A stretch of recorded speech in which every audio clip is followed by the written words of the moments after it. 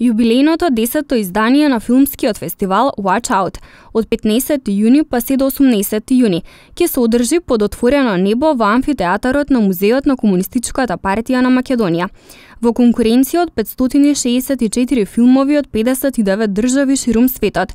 Во ова издание на фестивалот за победници се одбрани три филмови од кои еден документарен филм и еден краткометражен филм од Шпанија, како и еден филм од категоријата експериментален и анимиран филм Модиран.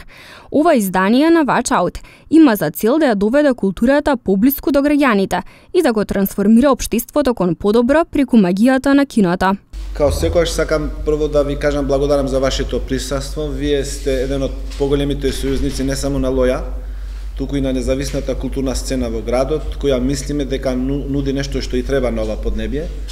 Значи, каде што ние на филмот, на разни уметнички дисциплини, на самата култура, не гледаме као, као, само као уметност, туку гледаме и као можност да се дискутира, да се третираат теми кои се кои се битни во, во, во овој контекст, така да и овој фестивал и филмовите кои сме ги добиле и воркшопите кои ќе следат се одсликување на, на, на ова тематика. А јас ќе користам прилика исто да кажам дека иако е 10 година, фестивалот се случува без никаква подршка ни од локалните власти, ни од централните власти.